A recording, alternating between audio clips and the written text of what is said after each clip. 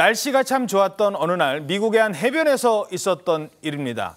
피서객들의 시선을 독차지한 누군가가 나타났어요. 네, 물 제대로 만난 물개가 나타난 건데요. 오. 미국 캘리포니아 해변에서 사람들이 서핑 중인데 바로 이 물개가 나타나서 같이 서핑을 했다고 합니다. 야. 바로 저 장면인데요. 와, 쟤네들이 물개요? 저렇게 위에 물 위에 떠가요? 물개가? 네, 저 서핑보드 앞에 조그맣게 보이시죠? 제가 물개예요. 와. 보통 물개가 아니라 진짜 서핑하는 물개인데요.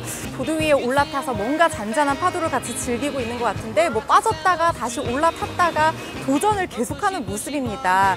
이 보드 갔다가 저 보드 갔다가 사람들이 막 주변에 가서 관심 가져주잖아요. 네. 물개가 보통 상어를 피하기 위해서 이런 천적을 피하기 위해서 이렇게 올라오는 경우는 있는데 아직 쟤 덜 배웠네. 약간 초보 같은 예. 느낌이 나죠. 그런데 어쨌든 파도 타는 즐거움 하나만큼은 제대로 만끽하는 모습인데요.